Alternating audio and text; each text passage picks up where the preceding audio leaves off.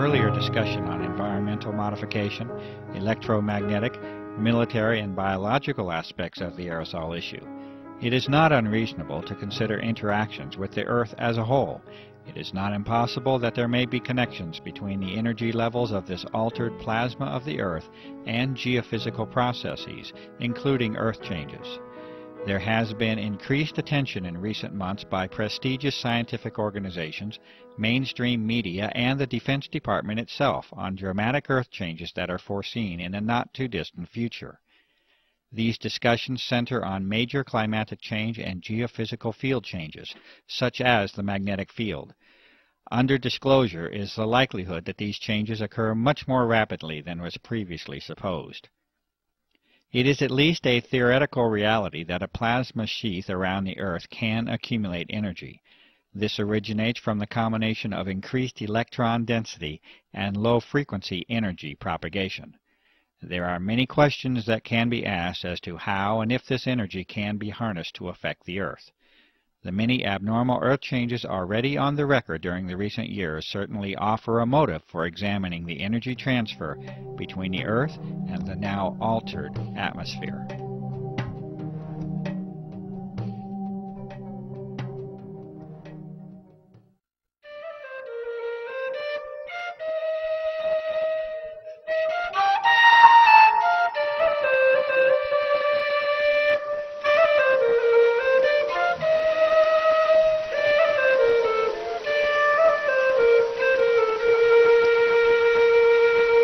Have seen traces of a world still in a state of beauty, and you have seen the signs of a terrible change.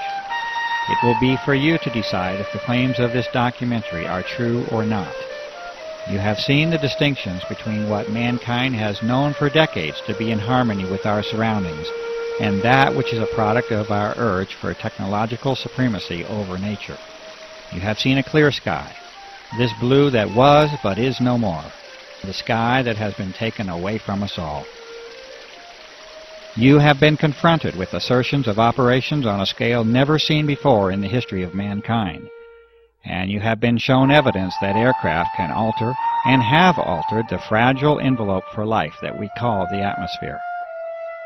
You have seen science and sampling applied to the problem over and over at the grassroots level, Numerous methods have been demonstrated that show artificial and deliberate modification of the atmosphere, including its chemical, thermal, electromagnetic, and physical properties.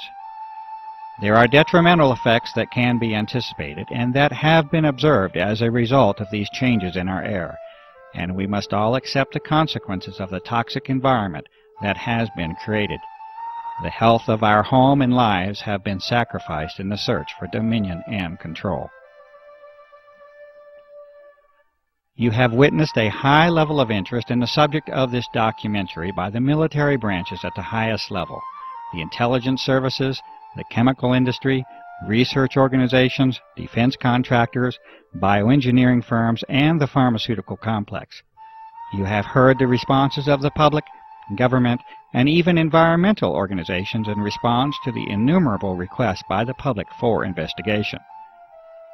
These responses repeatedly revert to describing phenomena that are normal and commonly observed, while denying and dismissing the extraordinary observations that sensible and reasonable citizens have called attention to. There has been a sustained campaign to ridicule and discredit the cumulative efforts of years of research, activism, and devotion by countless individuals acting from the motive of concern for the health of this planet and its inhabitants. A free and democratic society, if it is to continue to exist, must be able to openly discuss the benefits of technological and military supremacy against the deleterious impact upon the environment that we as global citizens must share. Divine rights of humankind must assume their rightful place amongst the individual nation's right for military security and secrecy. You have heard the responses of only a few citizens and professionals who state their sensible concerns about the impact of the aerosol operations upon our environment and our health. The lack of time prevents the presentation of the awareness that is now known to be shared by a grassroots network that conservatively must include millions of people. The extent of this awareness across national boundaries is apparent, and this network is of global proportion. The control of media information by relatively few corporate interests appears to be a significant factor in the restriction of honest and open public discourse on the aerosol issue. The attempts at ridicule of this issue by the U.S. military establishment should also be evaluated as to intent and motive. You have been provided with an analysis of the potential agendas of the aerosol operations, the conduct of environmental, military, electromagnetic, biological, and geophysical operations are each consistent with the vast body of information and evidence that has been accumulated over a period of more than five years. This result has been reached with the painstaking efforts of numerous citizens, researchers, and activists across the country and around the globe. Many of the operations under consideration would appear to regard the welfare of human beings, the life of this planet, and our environment as a low priority. Many people having become convinced of the reality of these operations, will naturally ask the question, what can I do to help? It is also known from experience in history that many of these same individuals feel helpless and powerless after they confront the immensity and complexity of the operations. They also often become disillusioned after encountering the predictable and disingenuous responses of our public servants. It is also known that the traditional methods of dissent and activism are no longer working, and the political process is failing in a constitutional sense. Petitions have been signed and disregarded. Appeals for investigation are dismissed. Calls for media involvement lead to crafted articles of ridicule. Even the legitimacy of the voting process itself is in question. There is no comfortable, reassuring, and simple answer that can be given to you. This is the reality that we must face.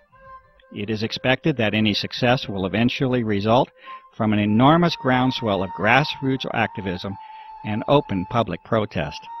At the current rate of progress, a timeline of decades can be projected before we reach the level of influence that is needed. The sober counter-reality is that the health of this planet is not likely to give us such a generous allowance of time. Our atmosphere is our lifeblood, and like the proverbial frog in the warming pot of water, we are acting obliviously to our own demise. You will have to use your talents and resources, your gift of life, to help this planet. The role of this researcher has been to give you the best information of what is believed to be the true nature of the aerosol operations. You will have to determine your role and exercise that role while you still have the opportunity to do so. If you are a professional, you must inquire into the ethics of your profession and answer the questions of public service that accompany it. If you are a citizen, you must participate. If you remain silent in the hope of preserving your freedom and security, you are almost certain to lose both. The doctor, the journalist, the scientist, the lawyer, the politician, the environmentalist, the activist, the author, the filmmaker, the fundraiser, the organizer, you must all assume your roles openly, publicly, and quickly to offer any real hope for our survival. I make this appeal to you. This documentary is a not-for-profit venture. It has been made with an appeal to you personally in mind. It may be freely copied in its entirety and distributed. No individual is permitted to distribute this documentary with a profit motive. It has been created for the benefit of the public. Please help us to restore and regain the world that you know can exist.